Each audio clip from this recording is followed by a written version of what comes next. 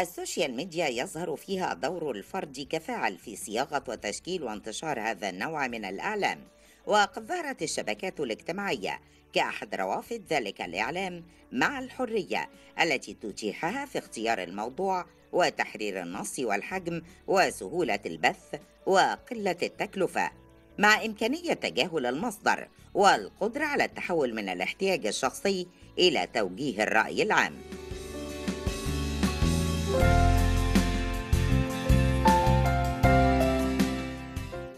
ال social media بتأثر على الرأي العام بشكل كبير يعني هي بتساعد عامة إن ممكن مفاهيم كتير يعني في المجتمع تتغير. تأثير ال social media تأثير كبير قوي يعني بيفرق من شرق لغرب يعني يعمل تغيير كبير.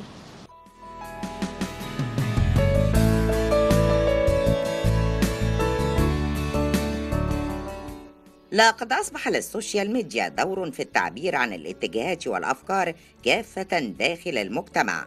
في ظل حوار تكون ركيزته الندية بين الفرد والنخبة والجماهير. ولم تعد النخبة تمارس دورها المعتاد. في صياغة الرأي العام وتشكيله وتعبئته بعد التطور في عملية تدفق المعلومات وإنتاجها. وأصبح للفرد دور في إنتاج المعلومات وصياغة الرسالة الإعلامية.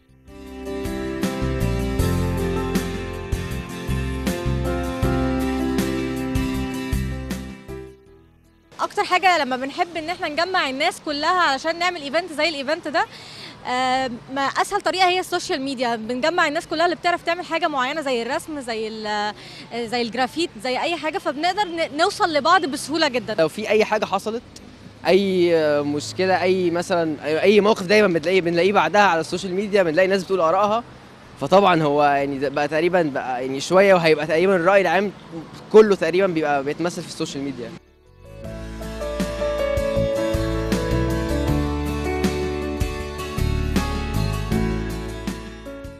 يعتبر الإعلام الاجتماعي أو ال social media من أحدث التطورات التي طرأت على الإنترنت ويشير مصطلح وسائل الإعلام الاجتماعية إلى استخدام تكنولوجيات الإنترنت والمحمول لتحويل الاتصالات إلى حوار تفاعلي عبر مجموعة من تطبيقات الإنترنت والتي تبنى على أسس أيديولوجية والتي تسمح بإنشاء وتبادل المحتوى الذي يتم إنشاؤه بواسطة الأفراد. مما يشكل رأيا عاما واتجاهات مع أو ضد وسائل الإعلام الأخرى.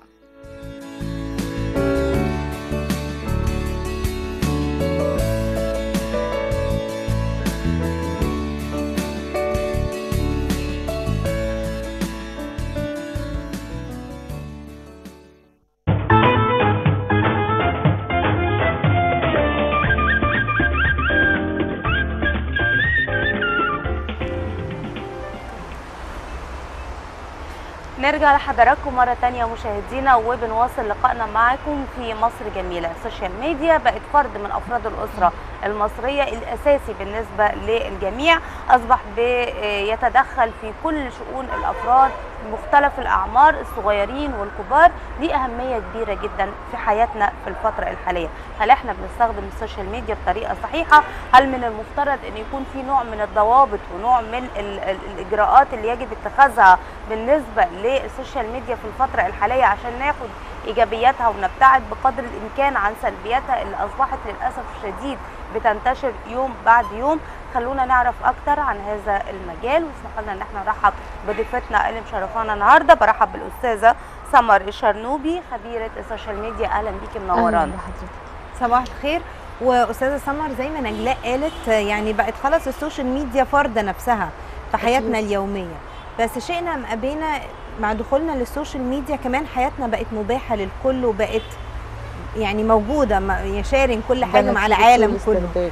آه إزاي أقدر أحمي نفسي وفي نفس الوقت آخد أمثل استغلال من ال social media أستغل النقاط الإيجابية بتاعتها وأحافظ برضو على الخصوصية بتاعتي.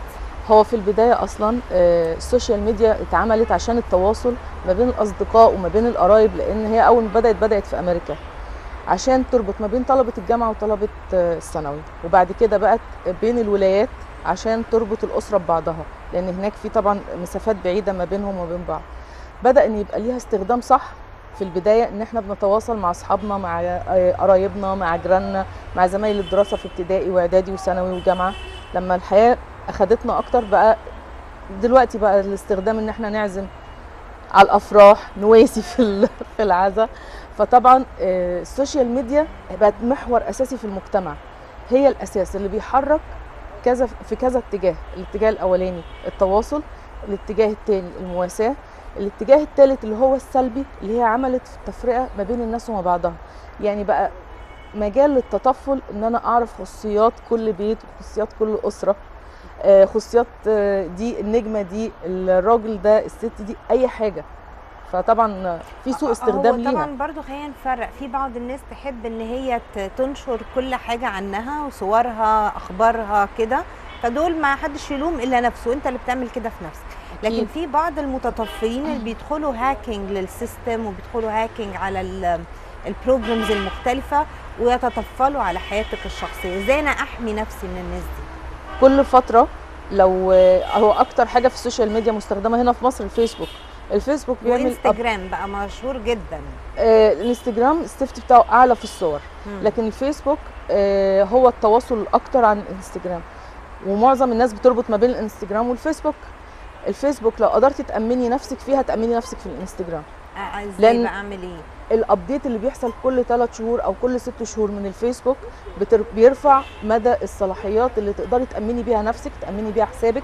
محدش يتطفل عليكي. محدش آه، انت ممكن بح... ب... يعني انت ممكن تمنعي ان اي حد يحط comment.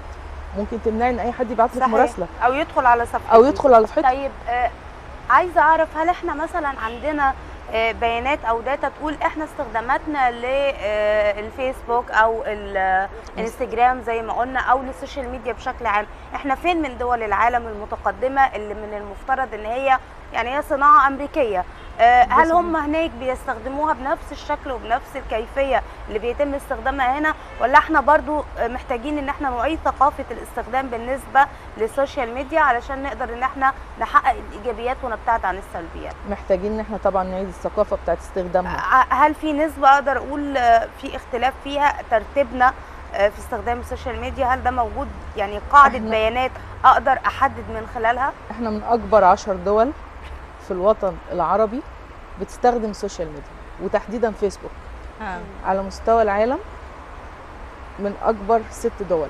يعني الفرق طفيف ما بين الاثنين يعني متقدمين أهو. جدا في استخدام ال social media في حاجات جداً. تلاقينا متقدمين فيها كده. جدا. وتحديدا الفيسبوك. فعلا الفيسبوك وهو أعلى أعلى نسبة استخدام في مصر. طب بس- خلينا ناخد الجانب الإيجابي بما إن إحنا عندنا ناس كتير بتستخدم مم. الفيسبوك ونسب عالية قوي كده يعني نعتبر من الدول المتقدمة والمتصدرة استخدام الفيسبوك في العالم استخدامنا الإيجابي للفيسبوك يكون إزاي استخدامنا الإيجابي إن أنا بقدر آه، أحدد إيه المستهدف بتاعي على الفيسبوك إن آه، أزود الخصوصية بتاعتي وأعلي التفاعلات عندي أو لو أنا ك user ده ك user. لكن لو أنا بتعامل مع الفيسبوك ك business مم. هو دلوقتي في ناس آه، شغالة عامله عليه business على الفيسبوك. عاملة business على الفيسبوك وعلى تويتر. ال business ده إن أنا إزاي إن أنا أطلع post كويس آه، يحصل تفاعل إيجابي معاه. لأن في فترة من الفترات الفيسبوك كان ليه تأثير في في إقامة آه، بعض ثورة. المشاكل والثورات. وفعلا ثورة 2012 بس ما حصلت كانش عن طريق الفيسبوك. ساعتها بالشكل ده. ده لا هو بدأ موجود. كان موجود ولكن على نطاق معين. بدأ بعد كده ينتشر تماما بعد دي الدعاية 2000 و- السلبية. بالظبط كده. دي الدعايه السلبية. الناس بدأت آه في فيسبوك في آه انتشار ليه في تفاعلات عليه. لا خلينا نتجه الاتجاه ده. مم. بدأ في البداية إن أنا بجمع أصحاب. بعد كده أنا بقضي وقت فراغي. بعد كده بقى في تفكك أسري نتيجة الفيسبوك والكلام ده كله. بعد كده ممكن أغير وأثر في الرأي العام من بالظبط. خلال الفيسبوك أنشر اشاعات عن طريق الفيسبوك. أتدخل آه، في خصوصيات أتدخل في الغير. خصوصيات دي حقيقة. طيب ده الاستخدام السيء. لكن الاستخدام الجيد يعني أنا بشوف إن الناس استفادت قوي من الفيسبوك إن هم بيعملوا منتجات مثلا يدوية ويروجوا ليها على الفيسبوك. فكرة المنتج المصري. فاكرة.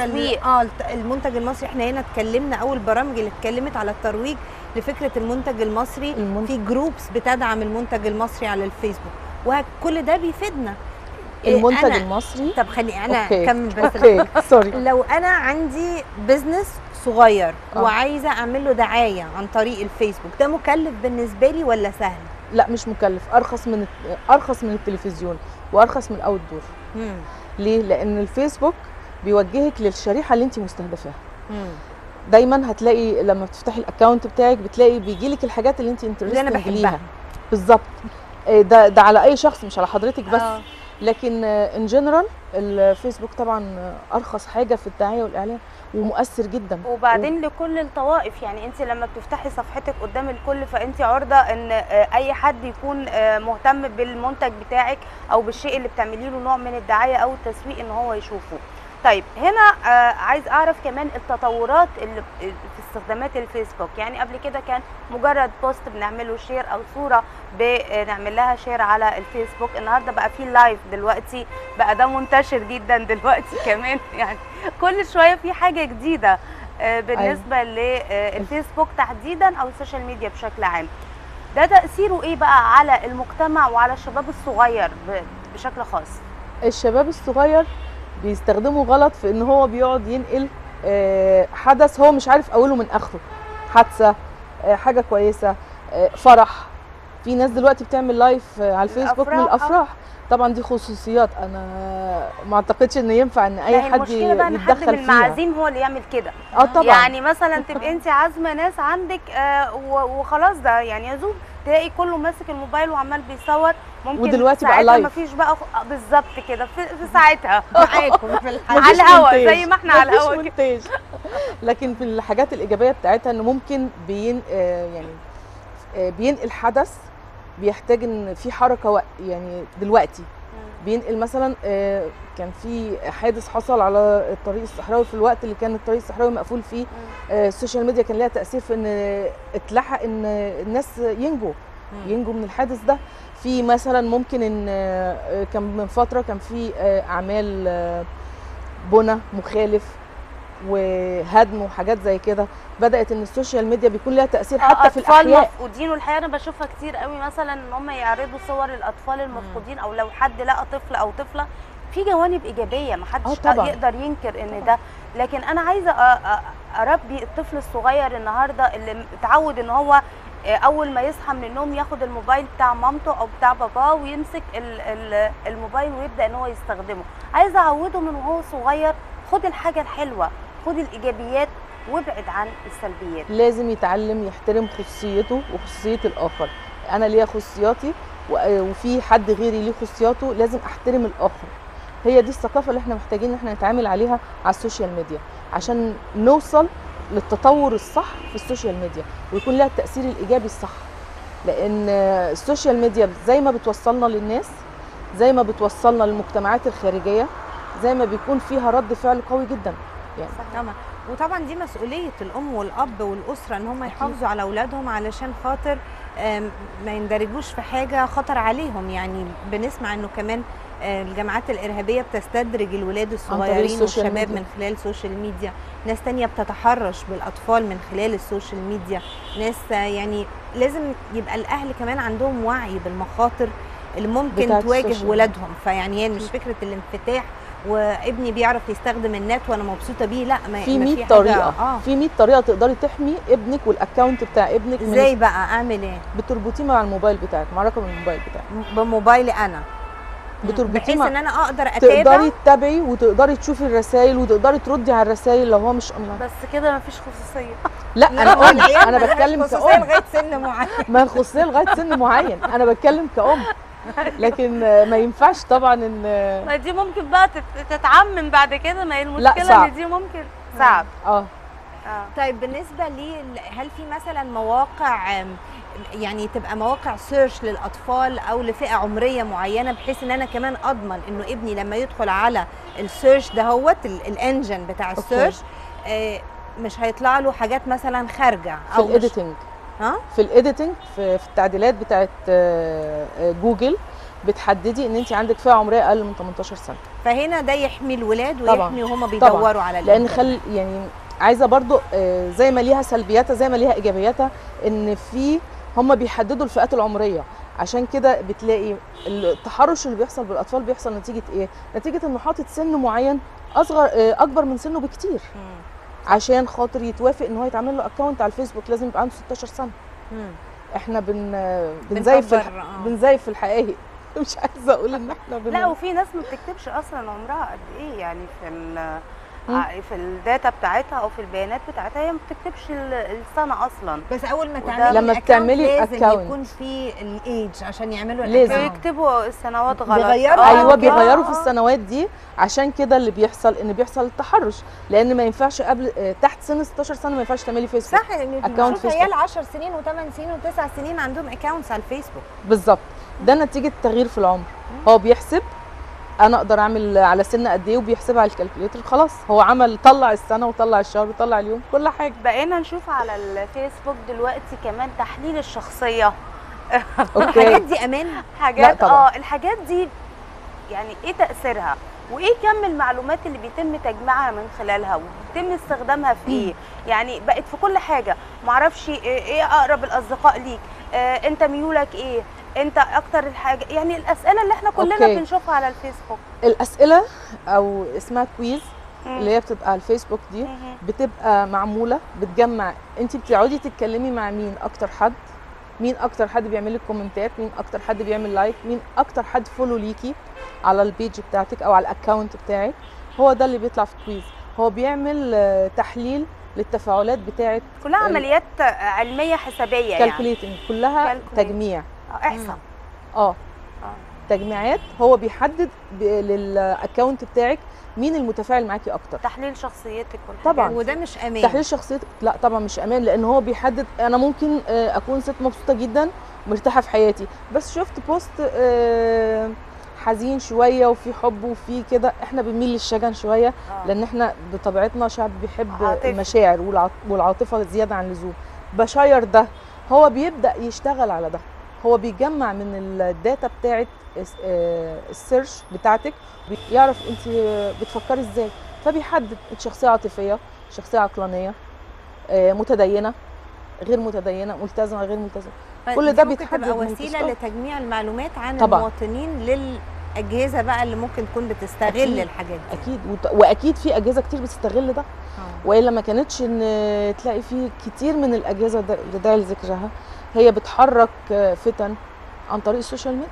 في متخصصين عندهم للسوشيال ميديا.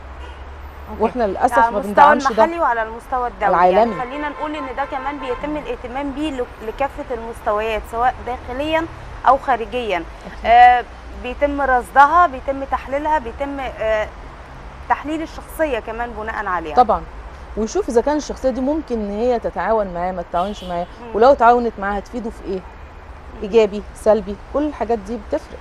يعني في النهاية عايزين نقول إن ال social media إذا كانت أصبحت ضرورة من الضرورات اللي بنعيش بيها ومتواجدة معانا دايما لكن في نفس الوقت لابد إن إحنا يكون عندنا الحذر الكافي من استخدامها. آه، كل إنسان ليه خصوصيته. ما نحاولش إن إحنا نقحم نفسنا كمان في حياة الآخرين ونسبب لهم أي ضرر سواء كان ضرر معنوي أو ضرر نفسي ده كله بيكون ليه تأثيره الغير مباشر. ال social media للأسف مش هنقدر إن إحنا نقول غير إنها أصبحت كائن آه، متواجد في حياة كل واحد فينا. هي لغة العصر. صحيح. هي الأسرة الجديدة. هو طبعا هي شكل من التفاعل في المجتمع ولكن طبعا تبقى العلاقات الأسرية ال- ال- الطبيعية لحم بني آدمين يعني أم وأب وأطفال واولاد خالة واولاد عم. بيبقوا قاعدين كل واحد يعني. ماسك ال قاعدين كلهم كل واحد ماسك على فكرة حتى في المناسبات ليه أنا في فرح. أنا في عزا ما هو live بقى يعني حلو أو وحش بس لازم نحد من الاستخدام السيء. لل social media عشان نحافظ على تماسك الأسرة المصرية ال social media جميلة جدا بس لو استخدمناها صح صح وكلها بالتأكيد. معرفة وكلها تنشيط للذاكرة وللعقل وكل حاجة كل حاجة حلوة فيها بس إحنا نستخدمها صح كل حاجة في الدنيا اذا. استخدمناها صح صحيح وإذا استخدمناها بعقلانية أكيد هناخد إيجابياتها. إحنا بنشكرك شكرا جزيلا أستاذة. سمر الشرنوبي خبيره ال social media نورتينا. ألف شكر ليكي. شكرا. نشكر كل. السادة المشاهدين اللي تابعونا النهارده. وإن شاء الله بكرة اللقاء يتجدد ومصر جميلة.